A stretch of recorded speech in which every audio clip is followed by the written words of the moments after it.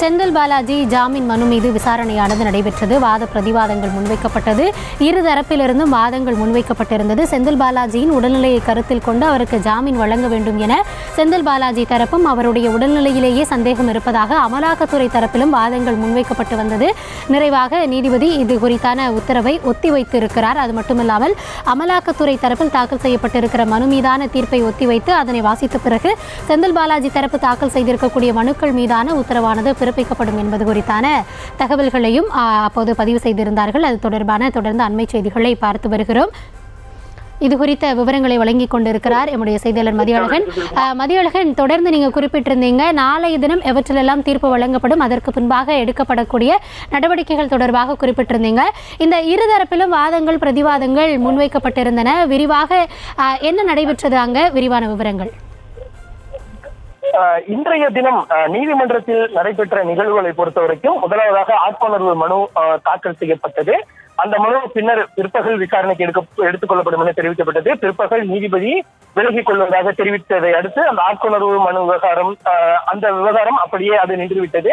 அடுத்தபடியாக முதன்மை அமர்வு நீதிமன்றத்தை பொறுத்த வரைக்கும் ஆஹ் அமைச்சர் செந்தில் பாலாஜியை நீதிமன்றத்திற்கு அழைத்து வர முடியாது என்பதால் நேரடியாகவே நீதிபதி மருத்துவமனைக்கு சென்று அங்கு ஆஹ் விசாரணை நடத்தி வரும் இருபத்தி எட்டாம் தேதி வரை அமைச்சர் செந்தில் பாலாஜியை நீதிமன்ற காவலில் வைப்பதற்கு உத்தரவு பிறப்பித்தார். இதனையடுத்து ஜாமீன் கோரி தாங்கள் மனு செய்திருப்பதாக அமைச்சர் செந்தில் பாலாஜி தரப்பு தெரிவித்ததை அடுத்து ஜாமீன் மனு மீதான விசாரணை அமர்வு நீதிமன்ற வளாகத்தில் சென்னை உயர்நீதிமன்ற வளாகத்தில் இருக்கக்கூடிய முதன்மை அமர்வு நீதிமன்றத்தில் நடைபெறும் என நீதிபதி தெரிவித்தார். அதனைத் தொடர்ந்து இங்கு வாதம் அஹ், நடைபெற்றது. முதலாவதாக அமைச்சர் செந்தில் பாலாஜி தரப்பில் மூத்த வழக்கறிஞர் என்ஆர் இளங்கோ ஆஜராகி தாங்கள் மூன்று கோரிக்கைகளை மனுவாக தாக்கல் செய்திருக்கிறோம். ஒன்று அமைச்சர் செந்தில் பாலாஜிக்கு ஜாமீன் வழங்க வேண்டும். அடுத்தபடியாக அவரை ரிமாண்ட் செய்த நீதிமன்ற காவலில் அடைத்த உத்தரவை நிராகரிக்க வேண்டும். அவ்வாறு அந்த நிராகரிப்பு கோரி கோரிக்கையை ஏற்காவிட்டால் அவரை காவிரி மருத்துவமனையில் வைத்து சிகிச்சை அளிப்பதற்கு அனுமதிக்க வேண்டும். இந்த மூன்று கோரிக்கைகளை நாங்கள் மனுவாக தாக்கல் செய்திருக்கிறோம் என கூறி மூன்றையும் ஒவ்வொன்றாக பிரித்து தனித்தனியாக வாதிட்டார். முதலில் பொறுத்த வரைக்கும் அவர் இந்த வழக்கில் செந்தில் பாலாஜி நடத்தப்பட்ட விதம் கைது செய்யப்பட்ட விதமே தவறானது. ஏனென்றால் இந்த சம்பவம் நடந்ததாக கூறப்படுவது இரண்டாயிரத்தி பதிமூன்றாம் ஆண்டு.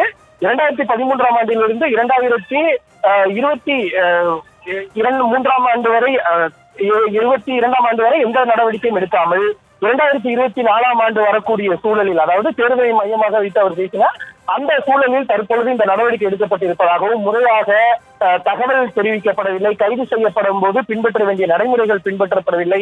அதே போல அமைச்சர் செந்தில் பாலாஜி மீது பதியப்பட்டுள்ள வழக்குகள் அனைத்துமே மூன்று ஆண்டுகள் வரை தண்டனை விதிக்கக்கூடிய சட்டப்பிரிவுகள் தான்.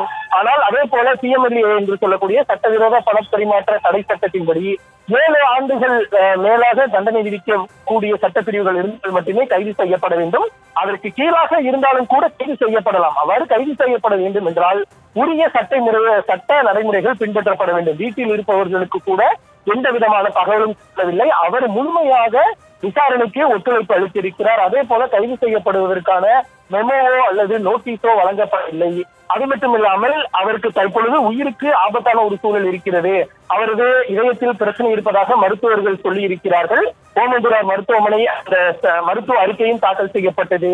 இதனையே இஎஸ்ஐ மருத்துவமனை மருத்துவர்களும் ஏற்றுக்கொண்டுள்ளதாக அவர் தெரிவித்திருக்கிறார். எனவே அவரினுடைய தனிப்பட்ட மருத்துவ குழுவை வைத்து காவிரி மருத்துவமனையில் சிகிச்சை அளிப்பதற்கு அனுமதி அளிக்க வேண்டும். அதற்கு முன்பாக இந்த நீதிமன்ற காவல் கோரிக்கை உத்தரவை நிராகரிக்க வேண்டும். அவ்வாறு இல்லை என்றால் இது போன்று மருத்துவ சிகிச்சையை காவிரி மருத்துவமனையில் மேற்கொள்வதற்கு அனுமதிக்க வேண்டும் என கேட்டுக்கொண்டார் பின்னர் அவர் அவர் தனது வாதத்தை நிறைவு செய்கிறார் அதனை அடுத்து அமலாக்கத்துறை சார்பில் மத்திய அரசினுடைய கூடுதல் சொலிசிட்டர் ஜெனரல் ஏஆர்எல் சுந்தரேசன் ஆஜராகி செந்தில் பாலாஜி கைதும் போது அனைத்து நடவடிக்கைகளும் பின்பற்றப்பட்டன. அவரது குடும்பத்தினருக்கு தகவல் தெரிவிப்பதற்காக போன் செய்யப்பட்டது. அவர்கள் போனை எடுக்கவில்லை.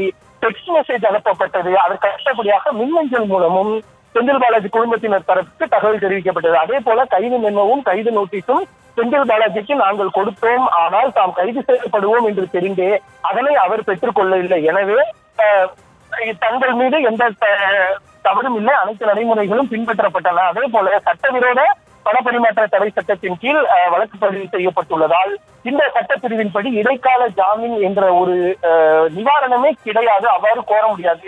அதே போல நீதிமன்ற காவல் வழங்கிவிட்ட பின்னர் அதனை நிராகரிக்குமாறு கோர முடியாது. வேண்டுமானால் ஜாமீன் தான் அவர்கள் கோர முடியும். இதிலும் அவர்களுக்கு ஜாமீன் வழங்குவதற்கான சட்டத்தில் இடமும் இல்லை என்றும் அவர் வாதி வாதிட்டார். அதனைத் தொடர்ந்து ஒரு இரண்டு மூன்று நிமிடங்களுக்கு மீண்டும் எல்ஆ இளங்கோ அவர்கள் பதிலளித்தார். அதனைத் தொடர்ந்துதான் அமைச்சர் செந்தில் பாலாஜி அமலாக்கத்துறை கஸ்டடியில் எடுத்து விசாரிப்பதற்கு மதியழகன் நீங்க தொடர்ந்து இணைப்பிலே இருங்க. நம்ம தொடர்ந்து இது குறித்தான விவரங்களை பார்க்கலாம். ஒரு சிறிய இடைவேளைக்கு பிறகு.